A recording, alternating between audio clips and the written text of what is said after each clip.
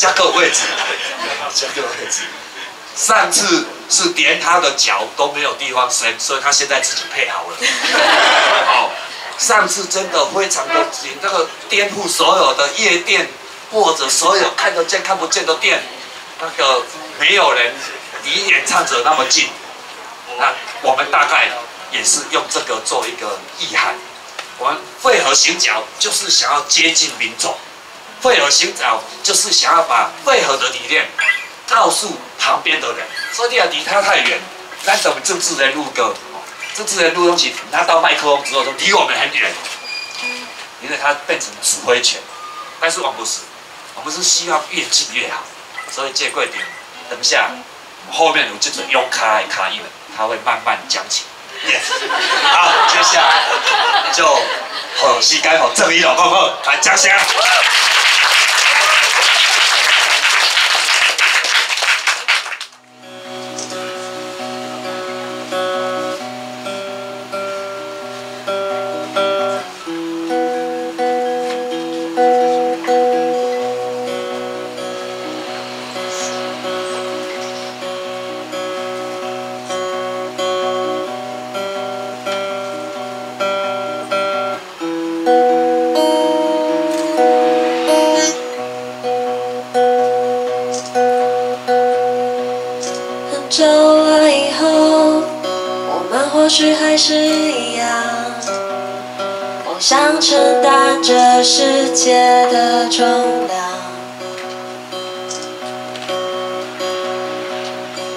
怪的想法却不曾变得更伟大。虽然你的敌人始终都是自己啊。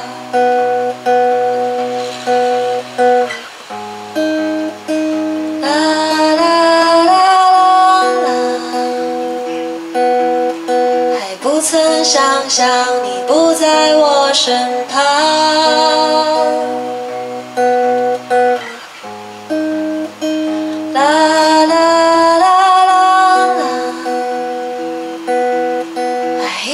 相信你对我说的话。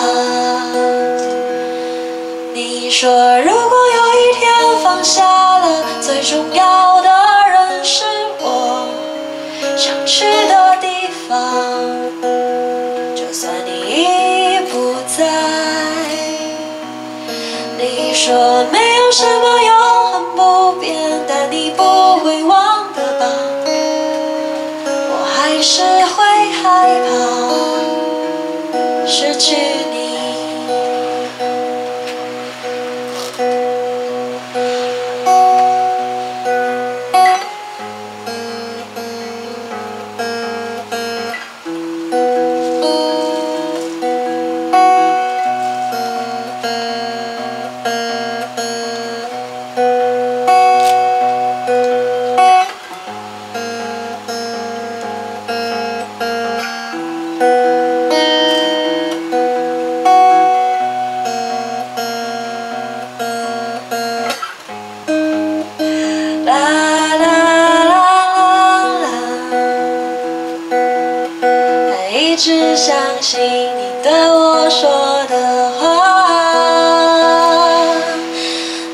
说如果有一天放下了最重要的人是我，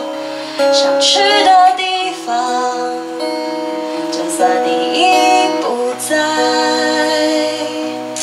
你说没有什么永恒不变，但你不会忘的吧？我还是会害怕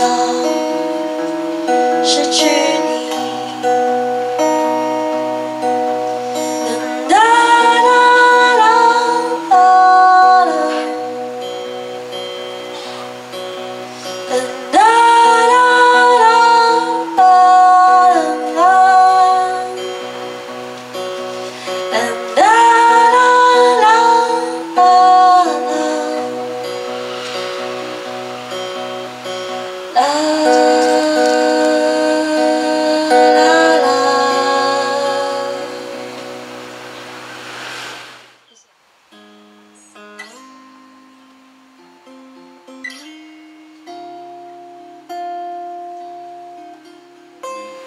介绍一下，我们是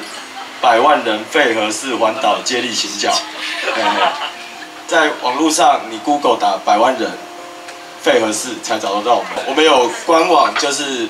公民的晋级，然后百万人费和氏环岛接力行脚。然后 Facebook 也是一样，粉丝专业，就是上面有我们一些及时的资讯。然后我们是从十月十号开始，从我们共聊的和市场，哦，一路从东海岸南下，今天是第三十五天，我们环到半个台湾了。那我们预计是八十四天的时间，明年一月一号走回台北。我们今天走出来，就是为了宣导一个非核家园的理念，为了告诉大家一点点核电的资讯，跟核废料现在全世界面临核废料处理的困境，因为这些东西电视新闻不会报，然后报章杂志不会深入去写。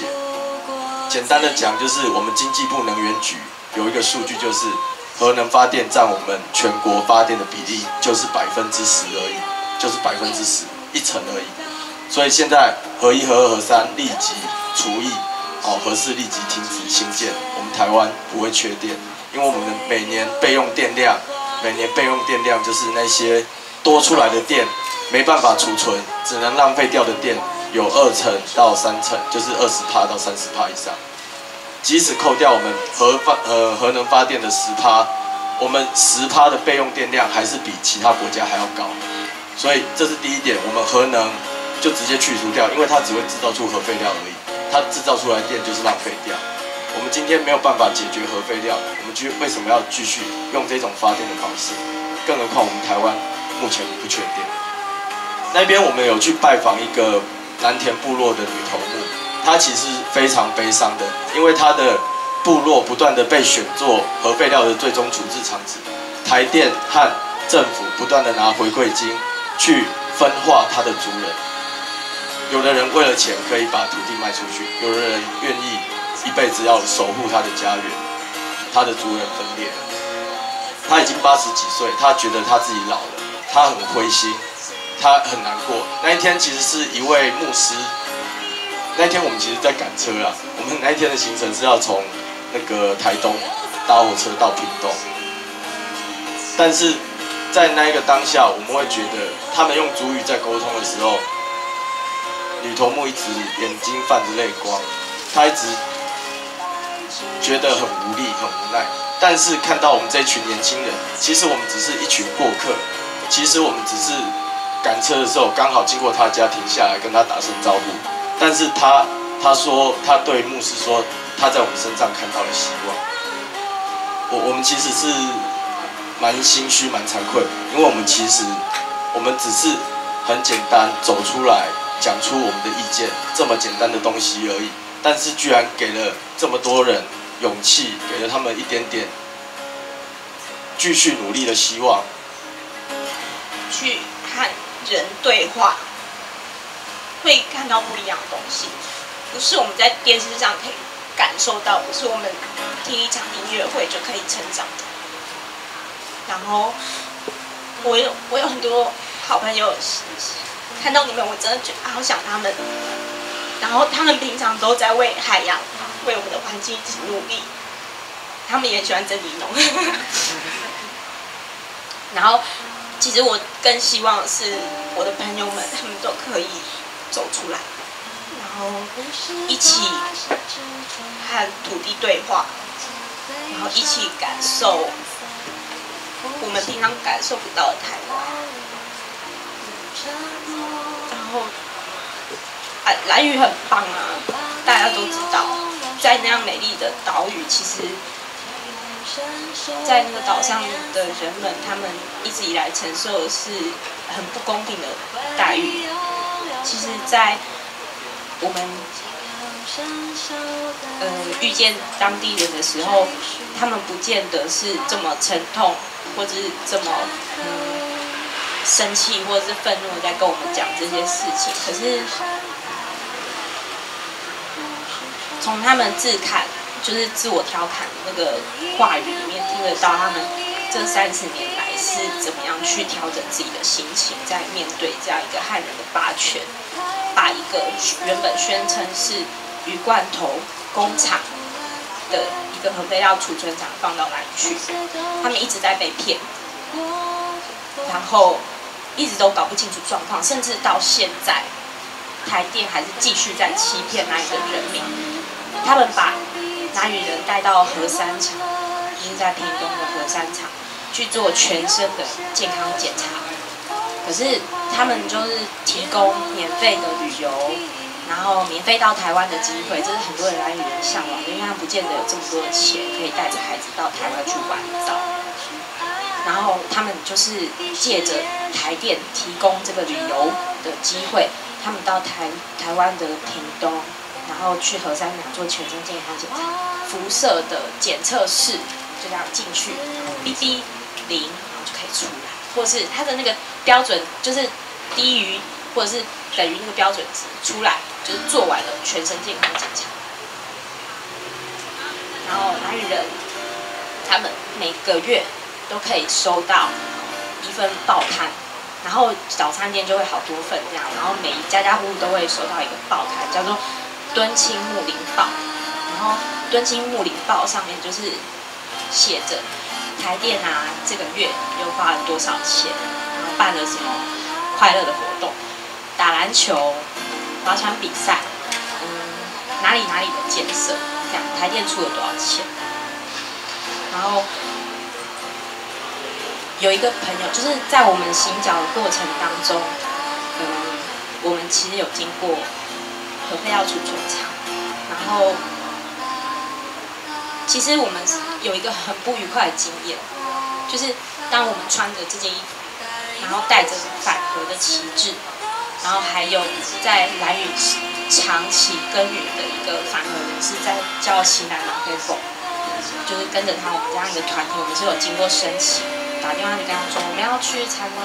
储存厂嘛。然后可是当我们进去里面的时候，有三个穿台电制服人走过来，第一句话就是摄影机、相机通通收起来，因为你们是一个团体。你们不是一般民众，所以不可以拍照，不可以摄影。可然后中间我们有试图想要，就是因为西南马飞凤嘛，他在里面他拿着麻药笔后的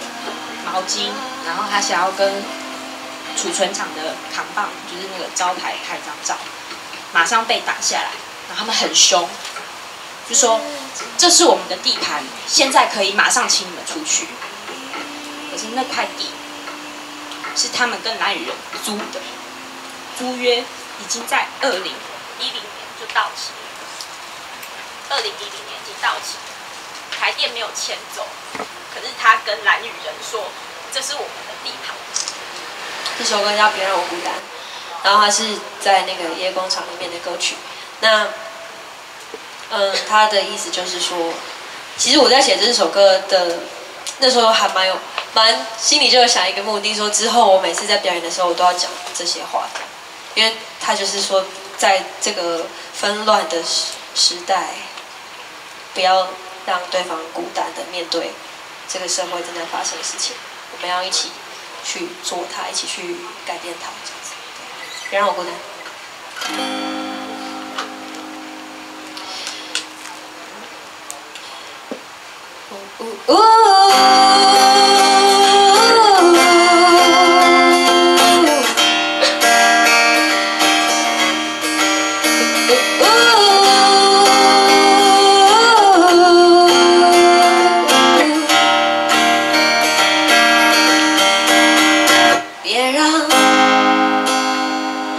独自在这里彷徨别让冷漠变成无形的伤。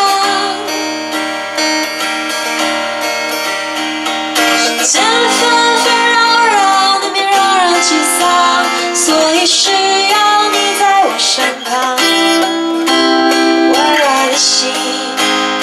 何时能给黄兔子？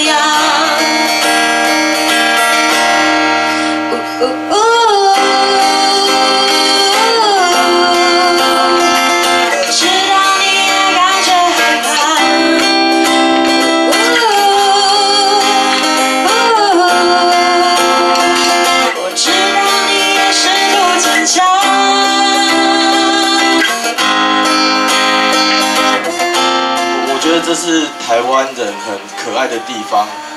也是台湾值得我们这样用八十四天的时间去守护很重要的地方。